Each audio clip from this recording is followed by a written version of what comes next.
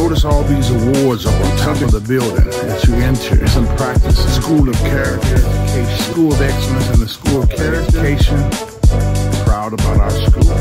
Proud about our community. Talk to you later. Day 16. Project Grant.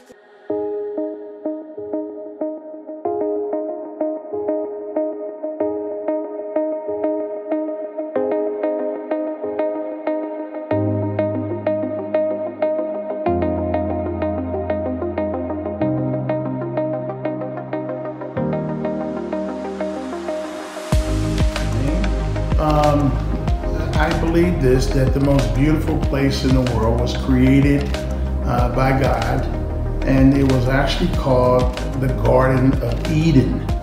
And if you translate the name Eden, it actually means paradise. So choosing the name paradise will only reflect uh, something beautiful. So that's why we call this project Project Paradise.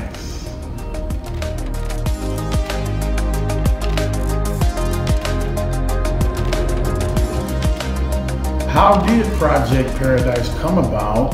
Um, about two years ago, our, our church collected gloves and hats for uh, Coldwater Elementary School. And um, when we went to go take the gloves and hats over to the school, we ran into the assistant principal, uh, Miss Higgins, and um, she made a statement to me that really, really cut to the core of my heart. Uh, she just said to me, Pastor Pleasant, we need some help with our boys. Kids were out today, and I had some kids that were having a bad day, and they got a rake in their hand, and their spirits changed. Wow. And you could just tell that they loved it. They were excited to see Pastor Pleasant. Wow. But what you all are doing here is a blessing to our students.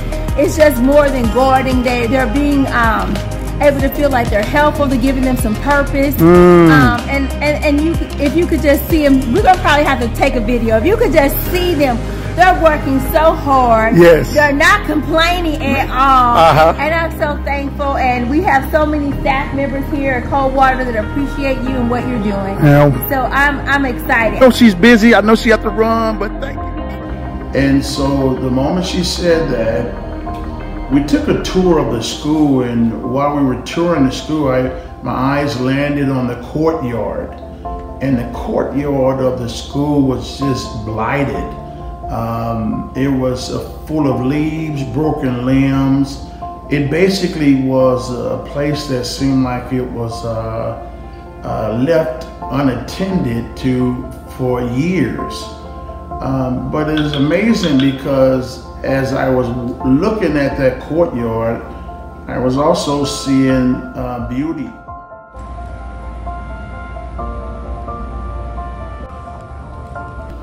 I'm a firm believer that uh, we be, we are we become a product of our environment, and um, so I was inspired to create and design uh, this garden to be a place of beauty, uh, so that our children that had the opportunity to work with us, as well as see the final results, can be inspired.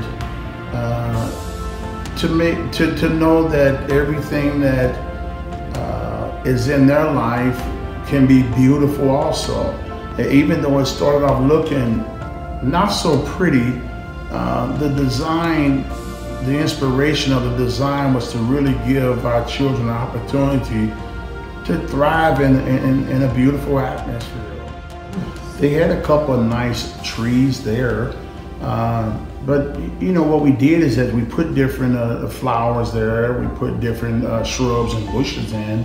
What was so awesome is that the children had an opportunity to work with me, and that was that was inspirational to me to be able to work with those children. And I was told by the staff that those children were upset when they could not come and work in the garden.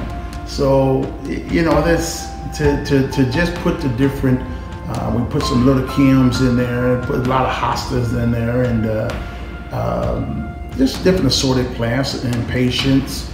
Uh, we also put some vincas in.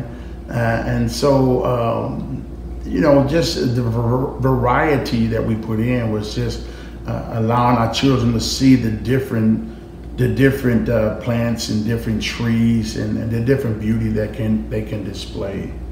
We kind of set him in for installation, and he was willing. He's a busy bit about what he's what he's seeing. Uh, Sister D, base quiet space today.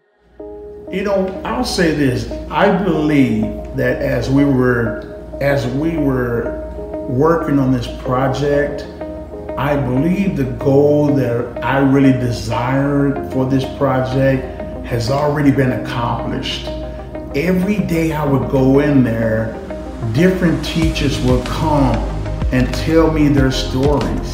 They was one of them uh, said, "I've been here 18 years and I've never seen this place look like that." I would walk in the doors and everybody in the building just seemed to be electrified, just seemed to be encouraged. And you know, we're just coming out of this pandemic and people are still kind of leery, but Project Paradise has given people hope. It's inspired hope in people.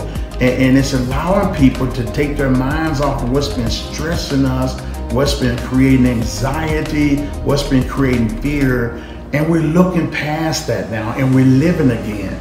And so my ultimate goal is just for us to live again. So that when every time people look out in this garden, and, and most people are saying it, it's a holy place, it's a peaceful place, it's a loving place.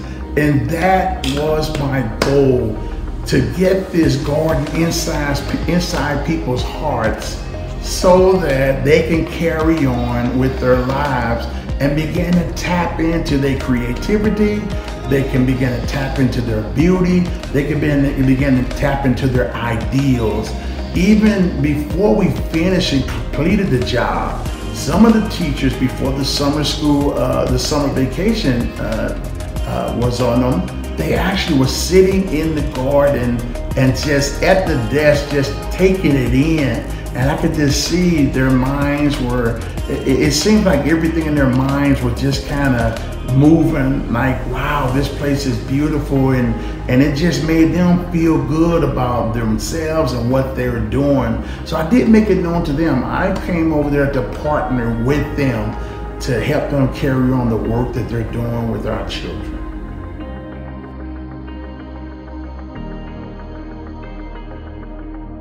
Impacted you personally? Wow. That's, that's an awesome question because it goes deep in, in my heart. I have been touched very deeply by this project. Uh, as I stated earlier, just working with these children and knowing that I'm able to share with them, knowing that their hearts are open to us, they can be vulnerable with us because they're safe uh, we look at our world today and you know you got people going into school doing harm to children. And so to be able to get next to them and i'm gonna have to pause it for a moment and just and just say thanks to dr beckman and uh, uh, assistant principal ms higgins. Uh, they have a powerful vision for coldwater they're, they're opening up the doors for the community to come in that will offer wholesome things for these children's lives. And today I'm, I'm uh, I have the pleasure uh, of spending time with uh, the principal, uh, Dr. Beckman. And uh, he's going to him when I first met him because he has a great vision for this school.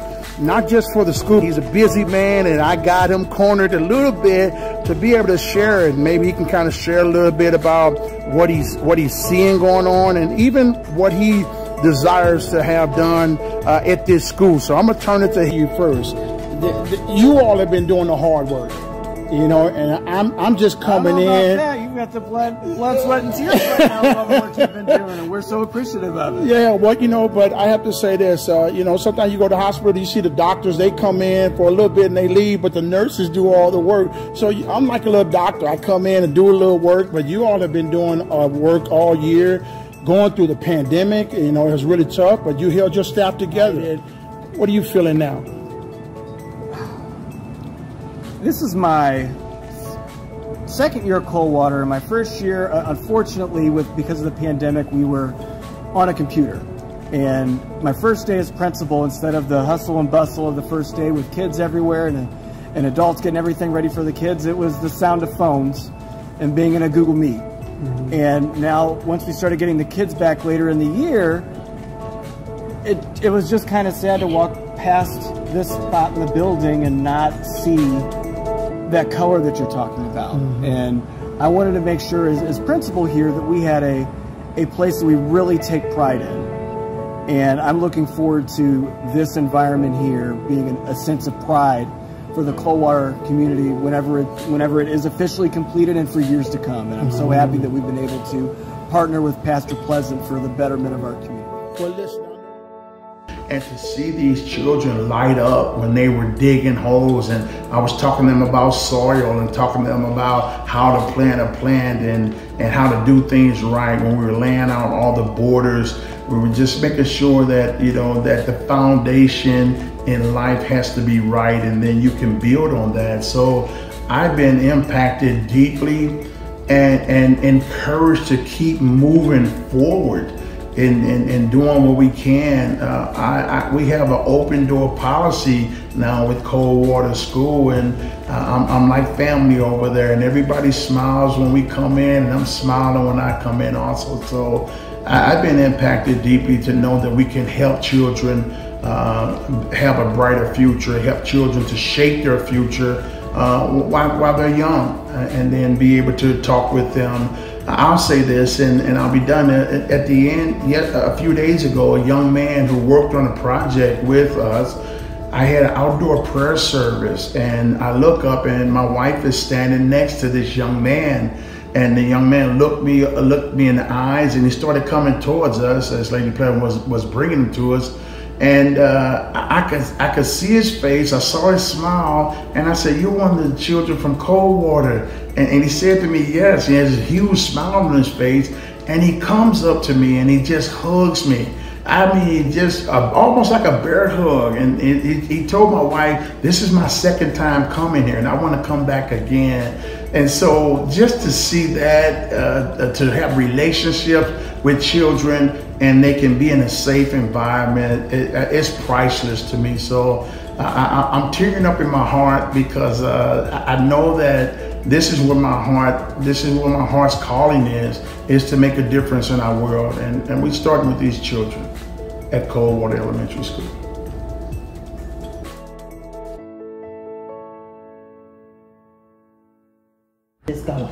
Oh wow! Yeah. Now we we we actually, and I hadn't stated this yet, but this this job that I did over there, uh, I had a minority cert certified company, uh, MBE certified uh, landscaping company, and, and, I worked for Ameren UE as a contractor. I worked for Mallinckrodt as a contractor, one of the largest pharmaceutical companies in our St. Louis area. And um, you know, I sold all those uh, contracts off and moved away from landscaping, uh, kind of did things on, around my home. Uh, but you know, I had an opportunity to do this project, so I did it free. We, we didn't charge the school one penny. Everything, and this is a good time for me to say thanks to uh, Frank from AAA Building Materials, to say thanks to Jack uh, from uh, Wallboard Nursery and Sons, and also thanks to Linda from Schrader, uh, Schrader Sod Farms who donated the sod. Uh, Nursery donated the, uh, the plants and the flowers and the rocks was donated by AAA Building Material.